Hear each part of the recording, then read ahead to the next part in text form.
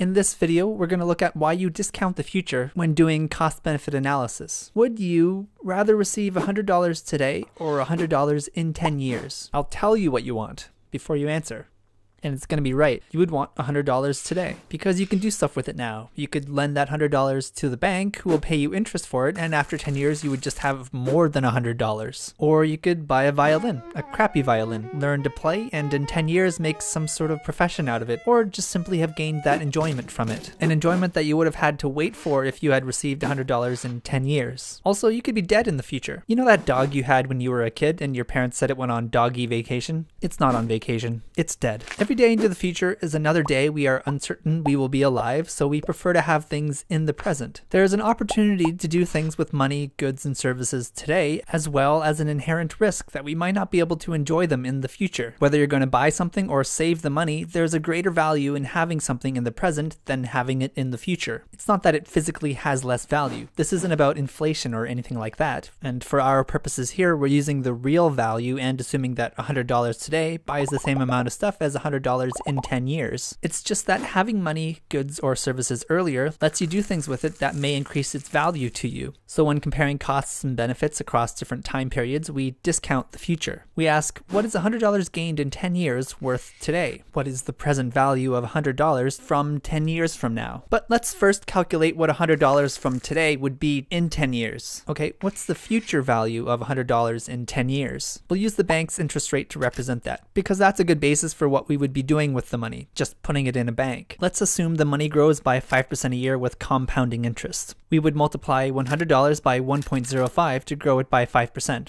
1 to account for the money we already had that we'll get back, and 0.05 to account for the interest we'll earn. Okay? Then we take that $105 and multiply it by 1.05 again for the next year. Then we do that 8 more times.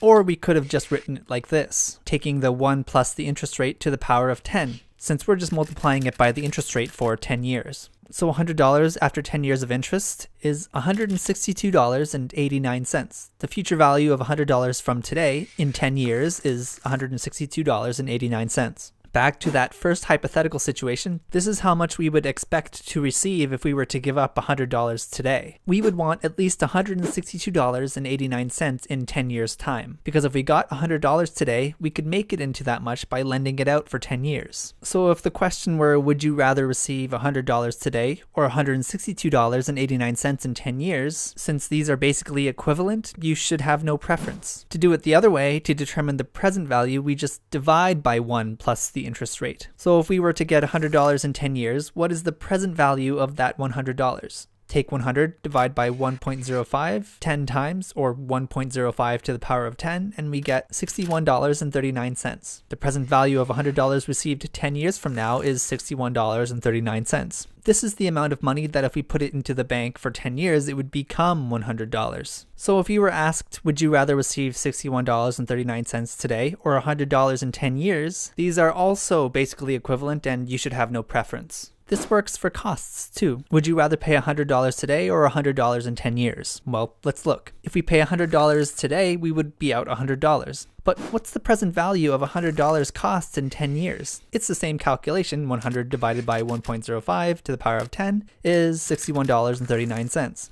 So what that means is we could put $61.39 in the bank today and it would grow to become $100 in 10 years. So paying in 10 years is easier. That is, if you plan for it by saving now. Otherwise, it's still a $100 cost. Remember, it's not that the costs and benefits are less in the future, discounting the future is just a decision making tool. We can use it to compare the costs and benefits of different projects to find out which gives the greater payoffs when considering this time preference of money and how each dollar is valued at different times. The discount rate you choose is very important in this process. There's no hard rule for which rate you might choose, but it should be based on what the best alternative use of these resources are. So if you're a private firm doing a financial analysis, you may simply use the market interest rate or some other investment very similar to what we've been doing. Or if you have money coming in from different sources with different interest rates for the same project, you would want to use a weighted average discount rate. So like if 30% of your money came in from the bank at a 5% interest, but the other 70% came from investors that expect a 17% return, you would use a weighted average of the two interest rates. You would take 30% of your 5% interest rate and 70% of your 17% interest rate as your discount rate. So 3 tenths of 5% is 1.5%, and 7 tenths of 17% is 11.9%. Add them together and you get 13.4%. And this is the discount rate you will use for this project. If you're doing an economic analysis, you will look at the economic opportunity cost of capital. What is the next best alternative use of these public funds? The economic discount rate will be different from a financial rate. It's typically lower. This is partly because public entities, the government, have more patience than individuals. The planning horizon accounts for more than just the lifespan of a single individual's viewpoint. So that preference of consuming something in the present and that risk of personally not being able to experience something in the future isn't as important a factor from a societal point point of view. So more weight can be put on the future and a lower discount rate can be used. Remember, with a higher discount rate, less weight is given to the future. With a lower discount rate, more weight is given to the future. A discount rate of zero would imply that the future has the same weight as the present. So an individual setting up a conservation park with a fee would expect higher returns and discount the future more because he expects to enjoy the benefits as soon as he can. Whereas a government is more patient and discounts based on everyone's ability to enjoy. Secondly, governments are usually able to borrow money at lower interest rates than private citizens or firms, and there is less pressure to gain immediate benefits. In other words, the opportunity cost to public projects is lower, so public projects use lower discount rates.